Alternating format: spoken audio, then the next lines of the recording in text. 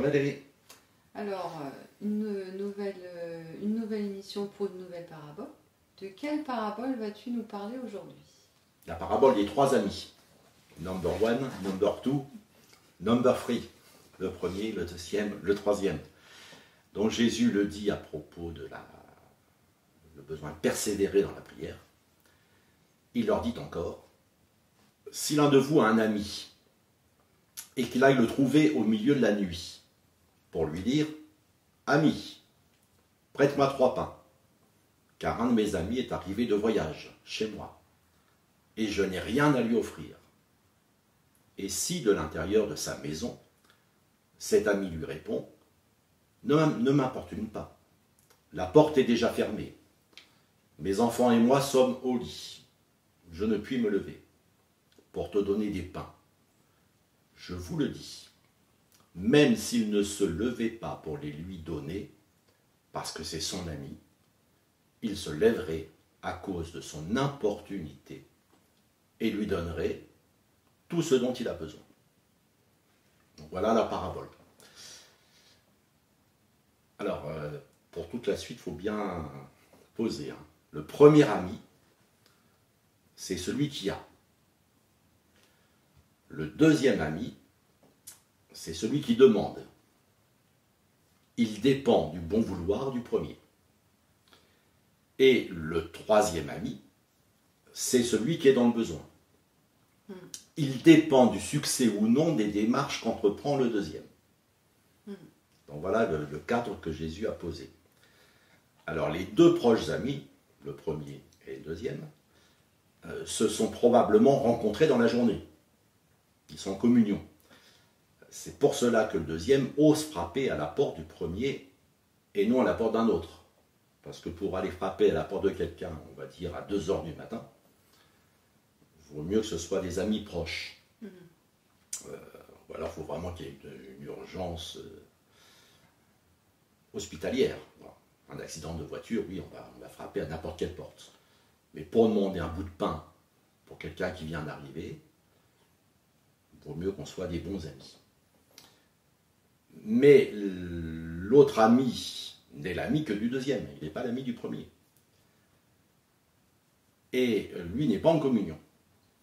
Il vient avec un besoin. C'est pour ça que je pense que si Jésus dit au milieu de la nuit, c'est à la fois le sens premier, bien sûr, dans la nuit, et les, boulangeries sont fermées, mais c'est aussi la nuit euh, du besoin, du problème, de la difficulté.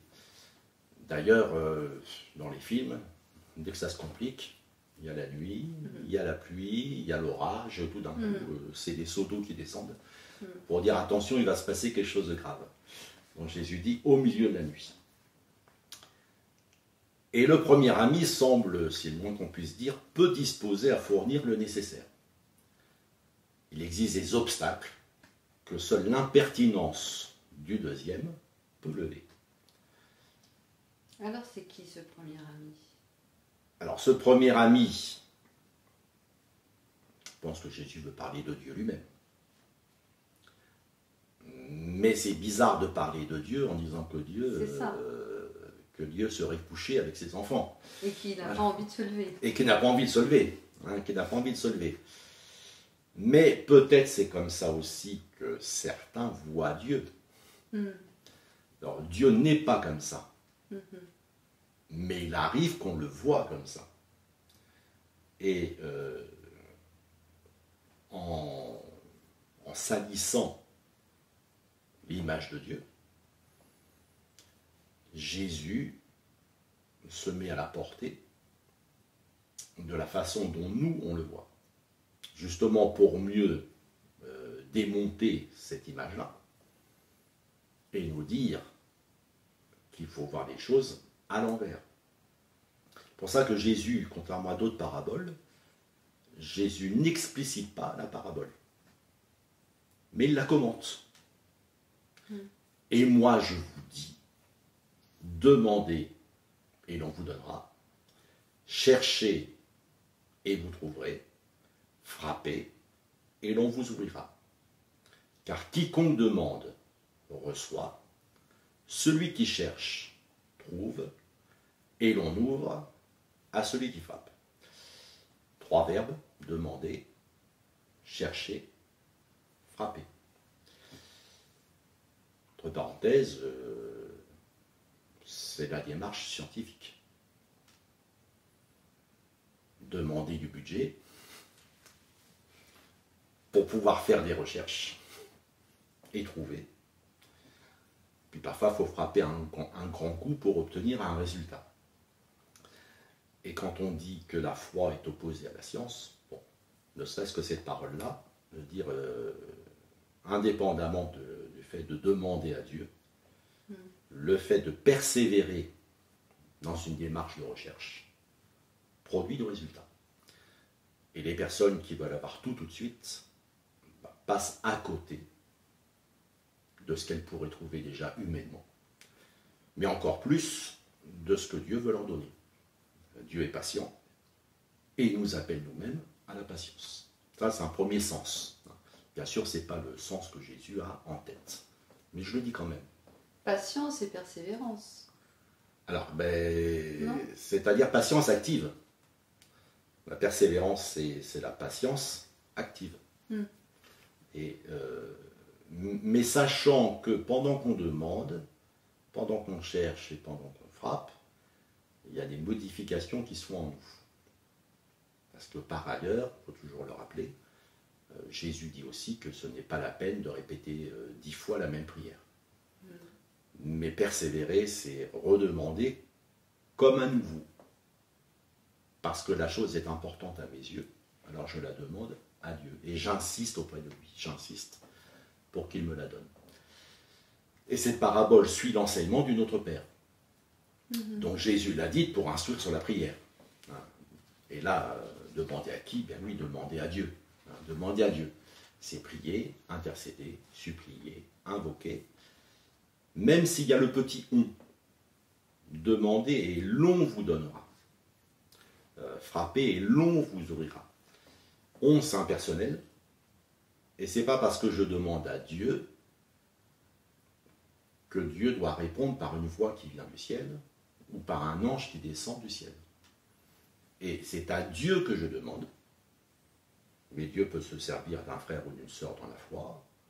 Dieu peut se servir d'un étranger pour répondre à, à la chose que je lui ai demandée. Mhm. Demander, c'est demander à Dieu, c'est prier. Dieu est le premier ami, celui à qui il faut demander, avant de demander à quiconque.